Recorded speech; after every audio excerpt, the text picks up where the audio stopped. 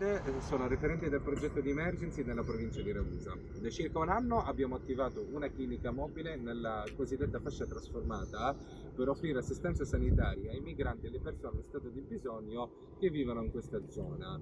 Eh, durante questo anno abbiamo visto tanti pazienti e abbiamo ascoltato tante storie. Purtroppo non tutte le storie sono belle.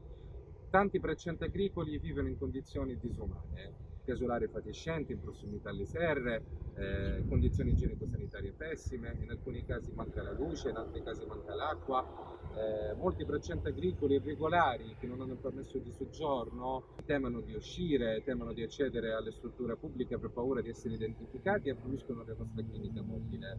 Eh, sono, eh, sono, questi migranti irregolari sono la fetta della popolazione più sfruttata da questo sistema a base di sfruttamento. Eh, la maggior parte di loro non sanno nemmeno dell'esistenza delle feste del primo maggio, addirittura alcuni di, lavoro, alcuni di loro lavorano anche nelle feste del primo maggio. Il primo maggio è domani. Noi da parte nostra auguriamo a tutti questi lavoratori un futuro pieno di diritti e dignità e da parte nostra finché ci è possibile eh, cercheremo di essere sempre presenti.